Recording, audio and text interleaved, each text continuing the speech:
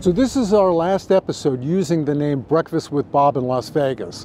When we started this journey 43 episodes ago, we, uh, we had to come up with a name, so this was really a placeholder.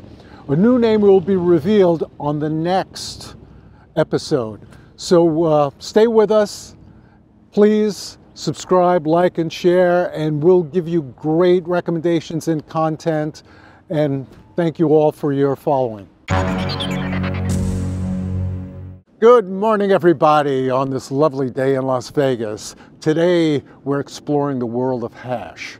Now, not that hash. This is a breakfast show. We're talking about the hash, the meat that is chopped and diced and mixed with potatoes and seasonings.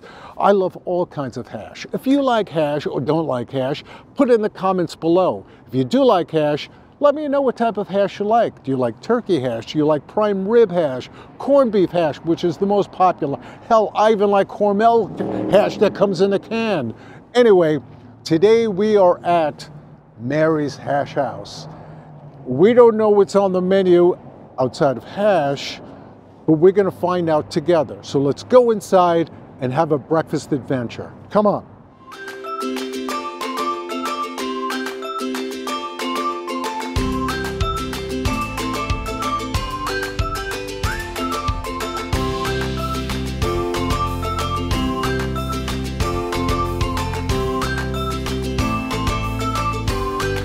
So this place was established in 1994, and they do have all kinds of hash. They have corned beef hash.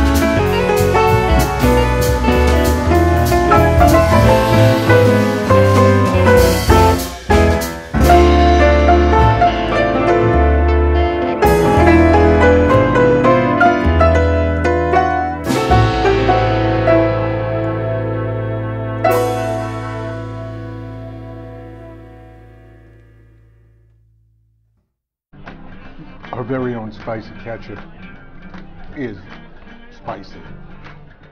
I'm going to try a little of the potato with the chipotle sauce and see how this stacks up against the very own spicy one. Oh, I should put it on. Let's see. Ooh, I like that one. I actually like that one better.